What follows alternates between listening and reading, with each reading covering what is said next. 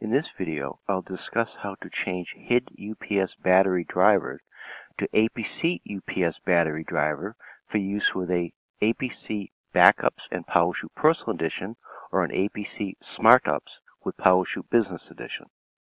When you first connect the battery backups or Smart-UPS to your Windows operating system based computer via USB, you should see in the lower right hand corner of the computer monitor Found New Hardware American Power Conversion UPS device.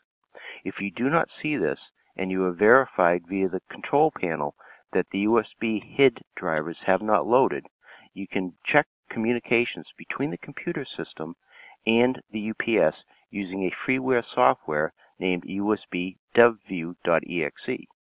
For assistance using USB Deview.exe to verify communications between the computer system and the UPS, please see Schneider Electric FAQ FA 283181.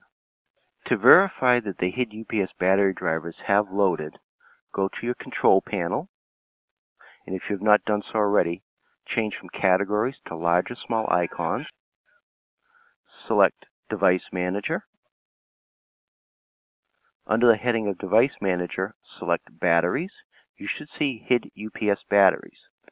When PowerChute Personal Edition or PowerChute Business Edition is installed, HID UPS batteries should automatically be replaced with APC UPS.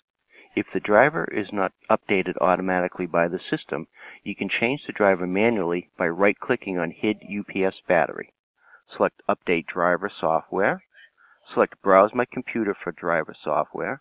Select Let me pick from a list of device drivers on my computer select APC UPS, click Next, click Closed. You'll now see that the APC UPS battery driver has loaded.